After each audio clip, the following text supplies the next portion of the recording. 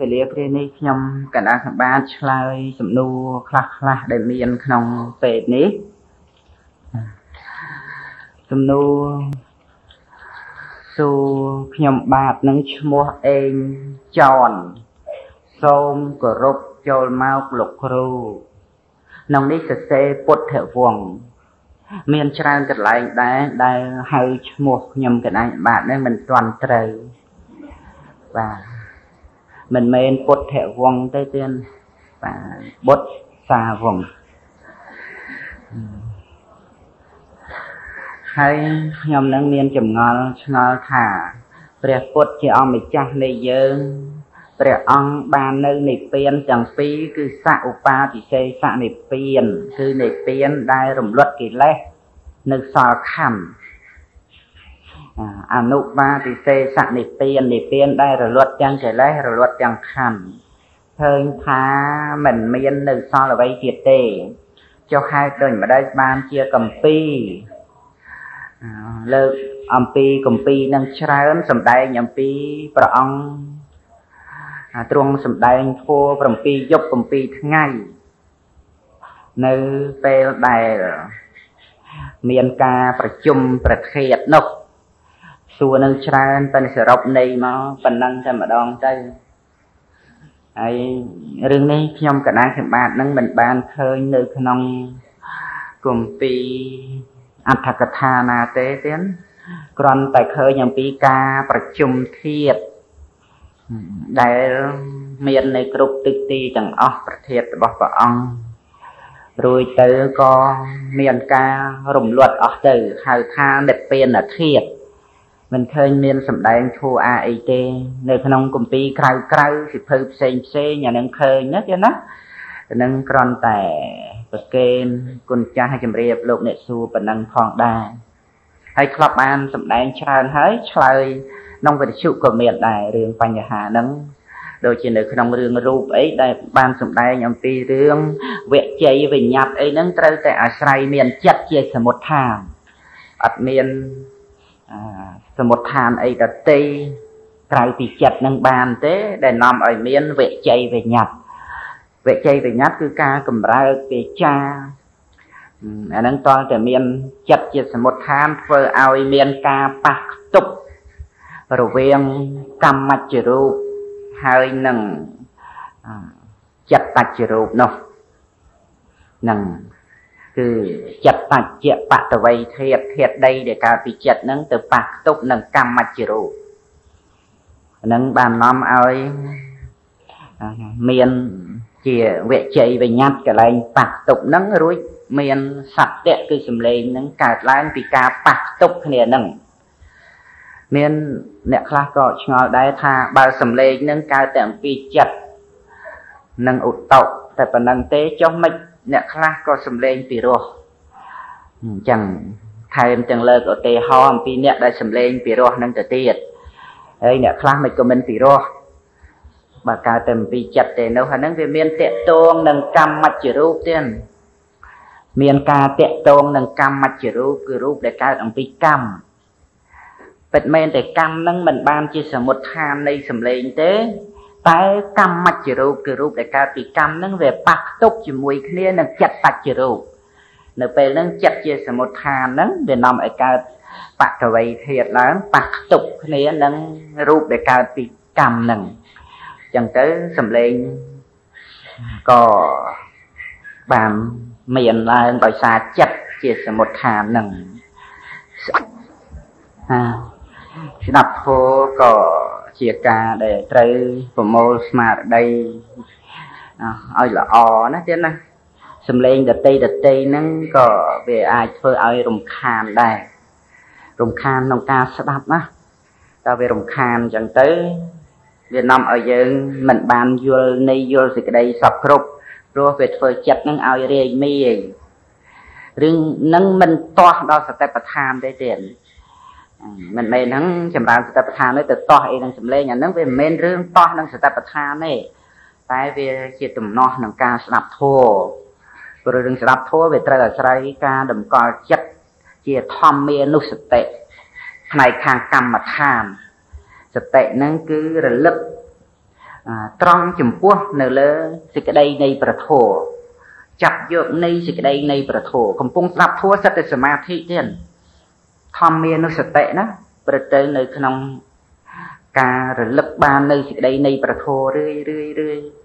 ហ្នឹងរឿងស្ដាប់ធัวហ្នឹងគឺជាធម្មានុសតិចំអីទៀតចូលនៅក្នុងភាភាវនីនិយបនបនសម្រាប់ដោយភាវនីចឹងហើយរឿងរឿងកម្មដ្ឋានរឿងសមាធិដើម្បីសេចក្តីស្ងប់ចិត្តហ្នឹងមានសម្លេងជាសត្រូវមិនមែនដូចវិបស្សនាទេ បស្សនាអត់មានសម្លេងជាសត្រូវទេពីព្រោះថាគ្រាន់តែជារូបនិយ៉ាងប៉ុណ្ណោះដែលសោតវិញ្ញាណធាតុហ្នឹងកើតឡើងបានលឺនៅសម្លេងហ្នឹងវាអត់មានអីជាយើងទេអានឹងរឿងសតិថ្នាក់សតិប្បដ្ឋានដល់ទៅសតិថ្នាក់សមថៈនេះ ដូចជានៅក្នុងរឿងការស្ដាប់ធម៌អីហ្នឹងមានសម្លេងជាសត្រូវជាគ្រឿងរំខានបានថា អ្នកណាដែលមានចេតនាប្រព្រឹត្តទៅដើម្បីរំខានគេស្ដាប់ធម៌ណាឲ្យឲ្យការមិនលឺទៅគេណាឲ្យការស្ដាប់មិនបានទៅគេណាអានឹងឈ្មោះថាសន្សំពូជថ្លង់ទុកក្នុងចិត្តកម្មនឹងឲ្យផល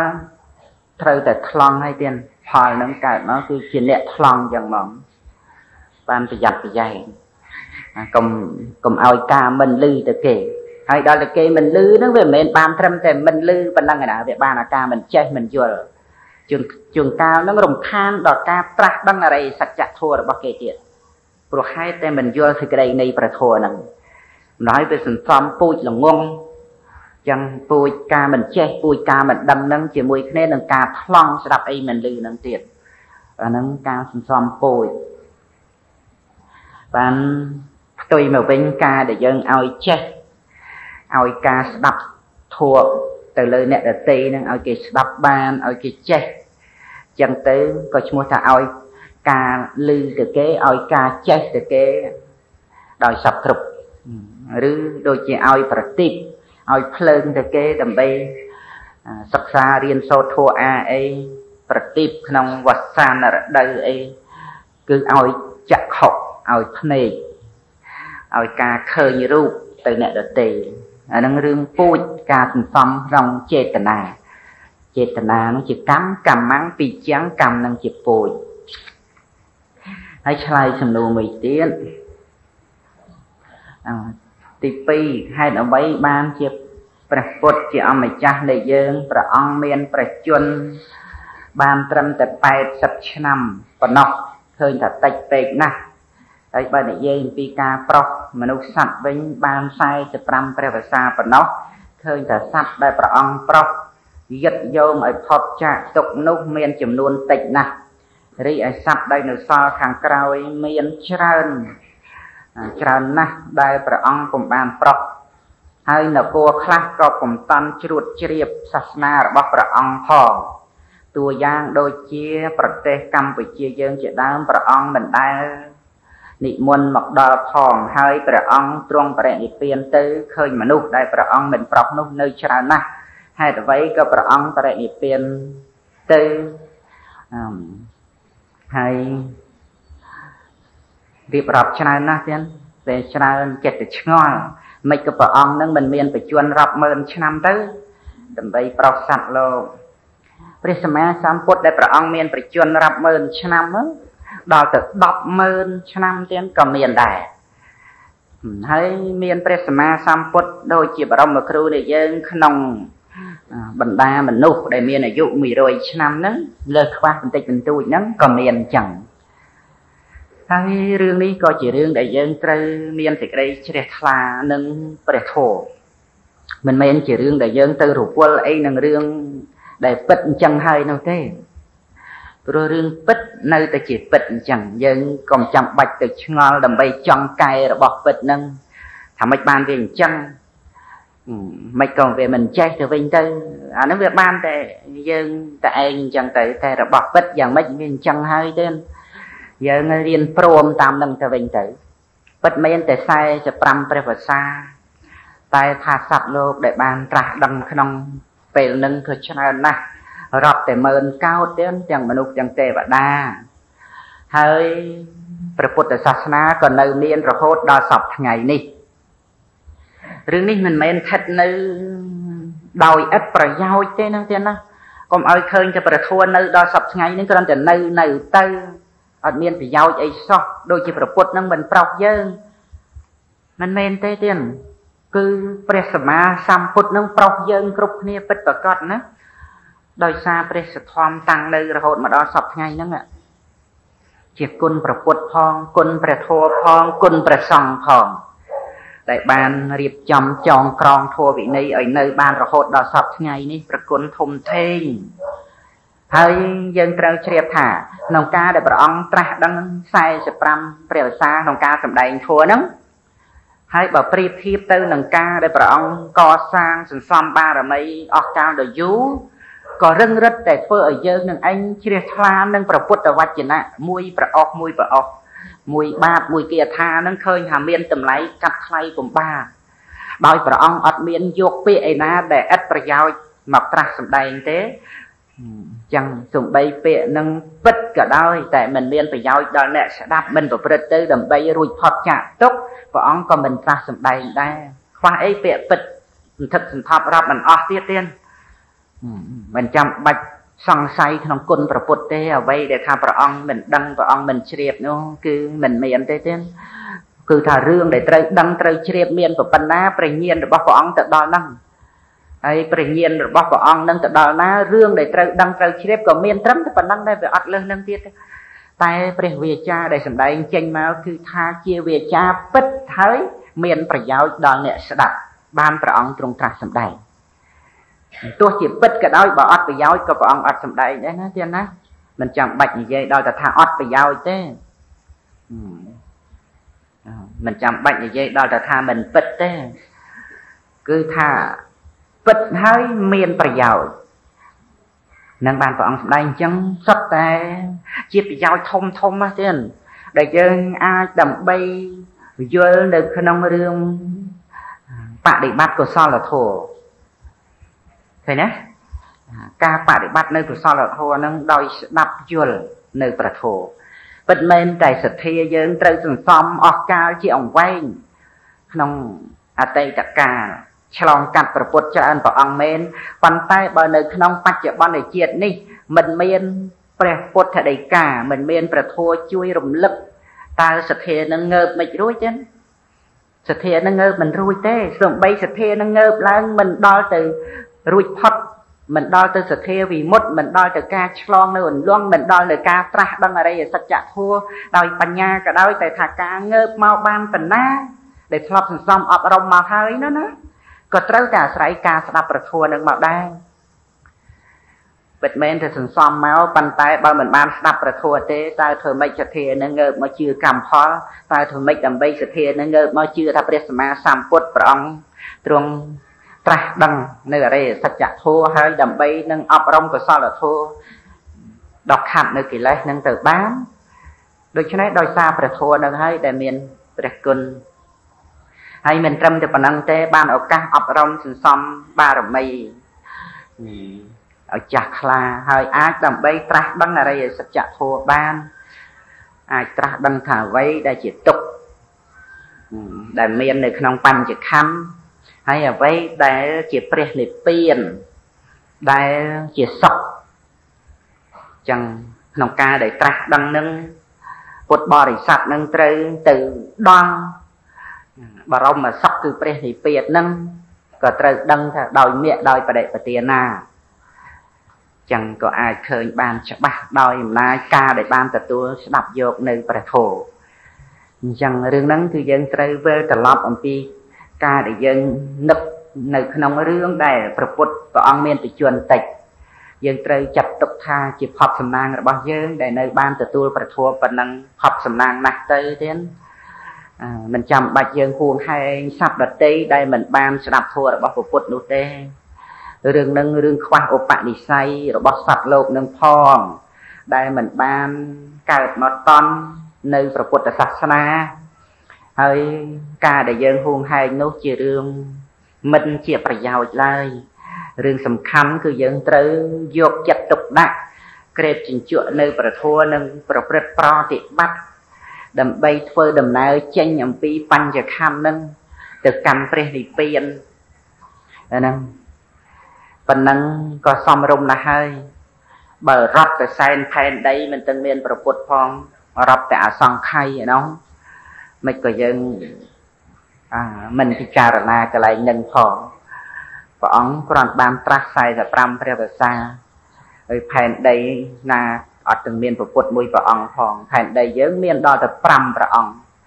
នៅមួយព្រះអង្គទៀតបច្ចុប្បន្ន80000ឆ្នាំនឹងក្នុងផែនដីនឹងហើយជុំផែនដីដែលអត់មានប្រពុតដែលសញ្ញកັບរាប់តែម៉ឺនម៉ឺនផែនដីនោះចឹងណាទេណាដូច្នេះយើងអឺ យើងមិនចាំបាច់ពួងហែងសត្វដតីណាទេទេរឿងនេះផុតវិស័យរបស់យើងហើយដែលត្រូវថាមិនក៏ព្រះអង្គមិនគង់នៅដើម្បីប្រោសសត្វដតីឲ្យបានត្រាស់ដឹងអស់ទៅរឿងហ្នឹងជារឿងដែលយើងពួងហែងទេបាទព្រោះថាសេចក្តីពិតរបស់សត្វលោកនឹងប្រព្រឹត្តទៅយ៉ាងណា គឺត្រូវតែយ៉ាងនោះ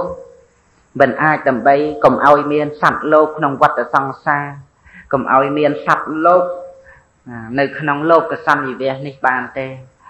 សង្សារវដ្តនឹងមិនអាចមានទីបំផុតខាងចុងថាត្រឹមប៉ុណ្ណេះអស់សត្វលោកក៏មិនអាចមានទៅចិត្តទៅមានទៀតសំបីប្រពុតមានប្រជជនមួយសែនមួយសែនមួយសែនគឺ100000ឆ្នាំនឹងប៉ុណ្ណាក៏នៅតែមិនអស់សត្វលោកចឹងយើងគ្រាន់តែគិតថាមិនអស់ឲ្យចោលតែបានច្រើនយើងដឹងថាក្នុងប្រពុតមួយព្រះអង្គនឹងសត្វលោកប៉ុន្មានដែលអាចបានត្រាស់ដឹងអរហន្ត ហើយបានទៅជាព្រះអរិយបុគ្គលច្រើនណាស់ណាទេច្រើនហើយមិនមែនតិចទេច្រើនហើយហើយរឿងដែលនៅនោះវាពិតជានៅចឹងហើយវានៅតែច្រើនអញ្ចឹងរឿងហ្នឹងវាពិតចឹងតែរឿងរឿងហ្នឹងរឿងយើងលើកទុកចោះទៀតតែឥឡូវនេះរឿងយើងម្នាក់រឿងយើងម្នាក់តើយើងដើម្បីថាទេ មិនតាន់ទៅតែឯងទេខ្ញុំនៅកសាងឲ្យជាពុទ្ធសិនព្រោះអាណិតសត្វលោកដែលព្រះមិនតាន់ប្រោសរួចខ្ញុំនៅធ្វើពុទ្ធដើម្បីប្រោសសត្វដទៃទៀតក៏បានដែរចឹងបើមានចិត្តករណាដើម្បីថាដើម្បីឲ្យបានជាប្រពុតជួយសត្វលោកក្រោយក្រោយទៀតបានទេតើព្រះបរមពុរិស័ទមុនមុនហ្នឹងមានទឹកចិត្តអញ្ចឹងបានកើតទៅជានឹកគិតដើម្បីឲ្យបានជាប្រពុតឡើងនោះប៉ុន្តែថាទេ បើបានជាយូរមកហើយក៏មកវាយូរអីទៀតបញ្ញាប់បញ្ញាប់ដើម្បីតោងចាប់យកនៅប្រធោព្រះសទ្ធំដែលជាយានជំនិះក៏ណាអាស្រ័យនៅព្រះសទ្ធំដែលជានៃយានិកធោគឺជាធัวដែលនាំសត្វលោកអាស្រ័យនៅក្នុងនេវានឹងដែលជានៃយានិកធัวនឹងនេវានឹងចឹងចេញចាកបញ្ញខੰយ៉ាងចេញចាកបញ្ញខੰទៅដល់ព្រះនិព្វានទៅ អាហ្នឹងរឿងហ្នឹងរឿងវាអត់រញ៉ៃរញ៉ៃទេវាអត់មានចប់ចម្ពាក់តេតិននឹងសត្វលោកដតីណាអាហ្នឹងវាអាចមានភារៈដាក់ចុះនៅក្នុងខណ្ឌនេះបើមិនដាក់ចុះនៅភារៈទេ ទៅមិនរួចទេទៀតទៅតាមនេវាដែលជាអរិយមគ្គហ្នឹងមិនអាចទៅបានទេចឹងអ្នកដែលទៅមុនហ្នឹងគេចេញចោលហើយយើងមិនបានដាក់ចុះទេអ្វីអ្វីដែលជាភារៈសម្រាប់ បញ្ចខណ្ឌភារៈដែលជាកិលេសភារៈដែលជាអភិសង្ខារហ្នឹងមានបានដាក់ឯណាការដែលមិនបានដាក់អាហ្នឹងវាមិនអាចដើម្បីចេញចាកខណ្ឌបានទេវានៅរវល់ភារៈហ្នឹងវាជាគ្រឿងរវល់វាជាគ្រឿងកង្វល់កង្វល់តេតិនសពគ្រប់ជាមួយគ្នានឹងខណ្ឌទៅ លើកតម្កើងកំត្រួតថាជាយើងថាជាខ្លួនយើងទៅ ទៅណារួចហើយរវល់នឹងកិលេសទៅ ដើម្បីថាអញបាននេះទៅអញបាននោះទៅដោយសេចក្តីស្រវឹងទៅស្រវឹងបានរូបល្អក៏ជាប់ណាកន្លែងរូបល្អហ្នឹងទៅអាហ្នឹងគឺសិតតែភារៈអីទេរឿងហ្នឹងហើយស្អីស្រវឹងហ្នឹងបានលៀបបានសការៈអីក៏ជាប់កន្លែងហ្នឹងអញ្ចឹងទៅដោយកិលេសហ្នឹងសិតតែរឿងស្រវឹងកិលេសសភារៈហើយបានស្អីស្អីក៏ដោយព្រឹត្តទៅដោយមាននេះជាប់ទាំងអស់គឺជាភារៈកិលេសៈ កិលេសៈភារៈកិលេសនឹងជាភារៈជាគ្រឿងរវល់ជាគ្រឿងកង្វល់នៅនៅក្នុងខណ្ឌហ្នឹងទៅអត់មានស្អីចេញទៅណារួចអត់ក្រៅអំពីនេវាគឺជា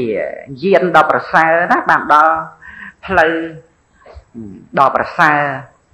ប្រកបដោយអង្គនៃអរិយមគ្គហ្នឹងបើមិនអាស្រ័យនេវាហ្នឹងបើមិនអាស្រ័យផ្លូវហ្នឹងអាហ្នឹងមិនអាចចេញរួចទៅបាន ហើយកាលណាបើយើងនៅរវល់ដោយភារៈទេអាហ្នឹងអត់មានអីទាំងអស់ទេអត់មានយានជំនិះអីទៅទាំងអស់ចឹងលោកអ្នកមុនមុនក៏លោកចេញទៅចោលអស់ទៅហើយយើងអត់មានស្អីទៅនៅក្នុងខណ្ឌហ្នឹងទៀតទៅតតែងអភិសង្ខារទៅសពគ្រប់ទាំងអស់អភិសង្ខារគឺកម្មចេតនាកើតឡើងដើម្បីបានរបស់នេះចេតនាកើតឡើងដើម្បីបានរបស់នោះ អញ្ចឹងទៅក៏ធ្វើដើម្បីឲ្យបានទៅវានៅតែក្នុងខណ្ឌហ្នឹងមានចេញទៅណារួចទៅទៀតរឿងចេញពីខណ្ឌត្រូវតែមានធរៈដាក់ចុះចាំខ្ញុំកណ្ដាលឲ្យបានសម្ដែងឲ្យបានច្រើននៅក្នុងរឿងតោករបស់បញ្ញខណ្ឌហើយនឹងដំណើរដែលត្រូវចេញអំពីបញ្ញខណ្ឌទៅកាន់ព្រះនិព្វានប្រកេនប្រគុណវិចាស់ជំរាបជូនញាតិញោមបងប្អូនទាំងអស់ថែមបន្តទៅទៀតណាចឹងណាបាទចឹង ហើយនេះសំណួរនឹងអស់ហើយបាទហើយមួយទៀតនោះឧបាសិកាមេងពួចនៅខេត្តជាមរៀបខ្ញុំសូមជម្រាបសួរលោកគ្រូ នៅចម្ងល់មួយខ្ញុំបានមើលវិបស្សនាញាណ9ត្រង់ញាណទី1គឺឧទយពយៈឧទយពយានុបស្សនាញាណអាលោកឲ្យពិចារណាជានិពត តិលក្ខណៈគឺកើតឡើង5យ៉ាងនៅរូបកើតព្រោះអវិជ្ជាកើតឡើងមួយឧបាទានកើតឡើងមួយ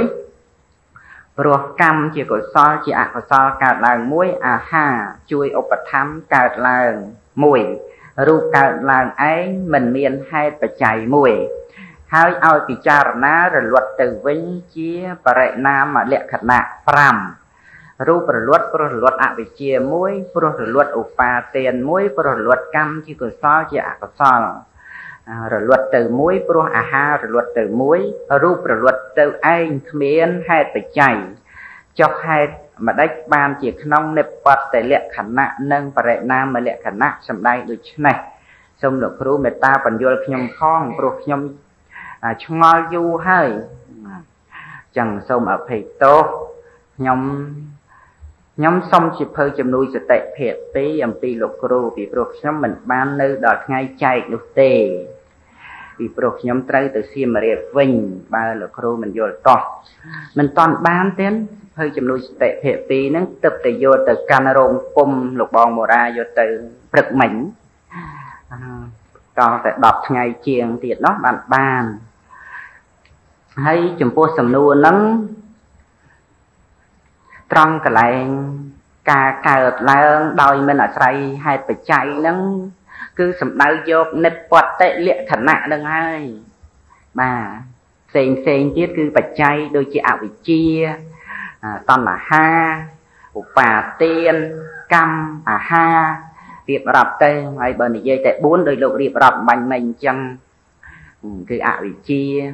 ឧបាទានហើយតណ្ហាវាចូលនៅក្នុងឧបាទាននឹងហើយ ឬបើនិយាយពីតណ្ហាមិនបាច់រាប់ឧបាទានក៏បានអានឹងសំខាន់អានឹងហើយកម្មអាហារហើយទី5គឺនិពតិហ្នឹងគឺសំដៅយកលក្ខណៈនៃការកើតកន្លែងហ្នឹងមានបច្ច័យអីទៀតលក្ខណៈនៃការកើតហ្នឹងបច្ច័យវាមានរួចហើយប៉ុន្តែត្រង់លក្ខណៈនៃការកើតឡើងចលនានៃការកើតឡើងនោះ អានឹងមានហេតុមានបច្ច័យអីគឺជាចលនានៃសង្ខារធัวនឹងដែលកើតឡើងនឹងជ្រាបហើយទេណា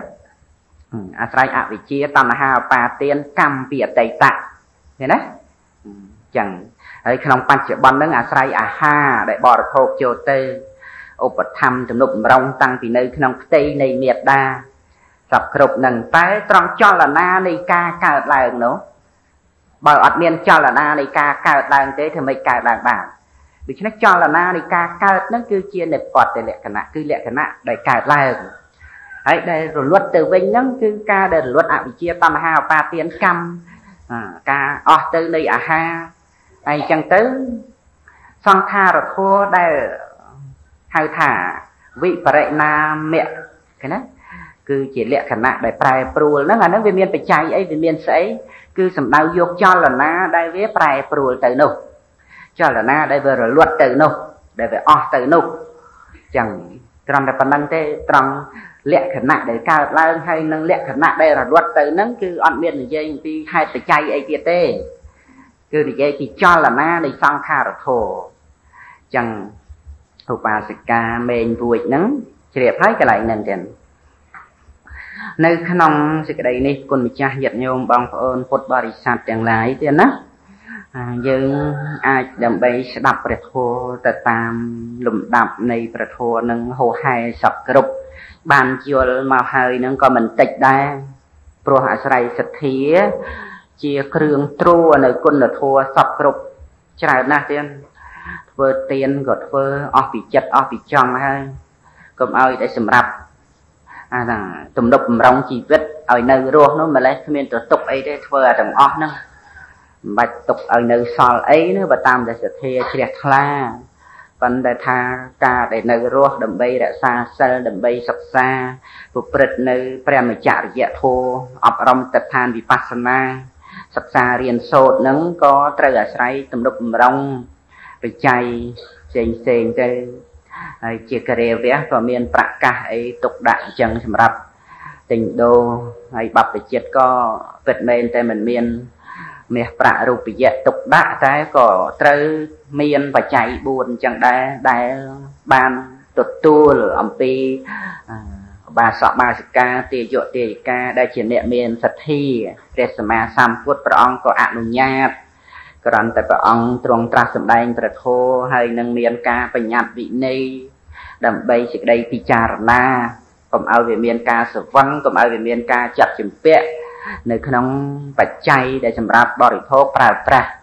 ពីព្រោះថាការរស់នឹងគឺប្រព្រឹត្តទៅដើម្បីការប្រព្រឹត្តអប់រំនៅសិលសមាធិបញ្ញា ដើម្បីជាការកសាងផ្លូវដែលត្រូវដើរចេញអំពីសេចក្តីទុក្ខឬថាជាការដើម្បីនឹងកសាងនៅជានជំនិះដល់ប្រសើរដែលប្រកបទៅដោយរតនៈ ដែលជាពោធិបក្កយធម៌ហ្នឹងឆ្លងកាត់មហាសាគរគឺវត្តសង្សារនឹងក្នុងការដែលមានសតិរលឹកដឹងលក្ខណៈនៃសភាវៈធម៌មួយលក្ខណៈមួយលក្ខណៈទៀតណាឈ្មោះថាជាការអប់រំចម្រើនអរិយមគ្គអង្គ8ទៀតបើមិនមានសតិរលឹកដឹងលក្ខណៈនៃសភាវៈធម៌ទេមានអប់រំចម្រើនផ្លូវដើម្បីដើរចេញពីបញ្ញខណ្ឌនេះយ៉ាងម៉េចទៅទៀត រឿងគុណម្ចាស់ញាតិញោមដែលបានស្ដាប់រឿយរឿយថាអរិយមគ្គអង្គ8ជាផ្លូវទៅកាន់ព្រះនិព្វាននោះណាទៀតគឺ